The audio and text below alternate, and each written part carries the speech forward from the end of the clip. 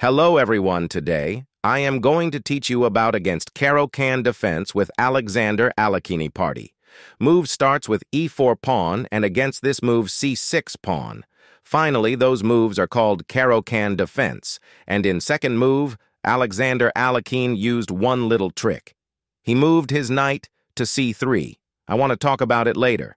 And black moves d5, White developed their second knight and attacked to center. After taking two pawns, knight taked e4.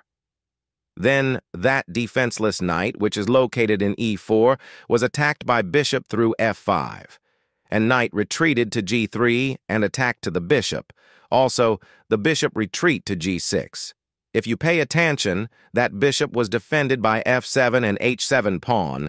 Alekhine moved h4 in order to weaken black's bishop and king's flank. Then black moved h6 to defend there the bishop, but now bishop has only one defender, which is f7 pawn. White attacked the weakened bishop by moving knight to e5.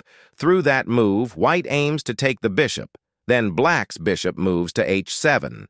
But this move created weakened pawn in f7. Then Alekhine want to pressure that pawn, so he moved his queen to h5. Black defend this pawn by moving their g6 pawn and also attacked queen. White didn't pay attention to that attack and moved their bishop to c4. Now can't take white's queen because if they take white's queen, white moves their bishop to f7 and give checkmate. In order to defend f7 pawn, black moved e6 pawn, then white moved their queen to e2 and prepared to next trick. Then black neglected to that move and moved their knight to f6 in order to castling.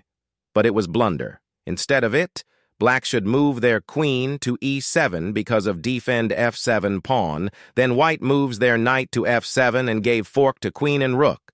In order to not lose their material, black took it with their king. Again, it was blunder too. Then white wins in two moves, White moved e6, then black moved g7, then queen gives checkmate in f7. And it is over. White won. Earlier I said, you, I wanted to talk about Alekhine's trick, so I want to clarify an opinion. In theory of Caro-Kann defense, primary, in second move, white should move d4 pawn.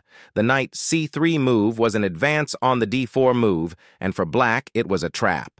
Black people got used to this situation. It was Black's first mistake in the game that turned out to be the bishop f5 move. Instead of it, or knight should go to f6 to attack White's queen.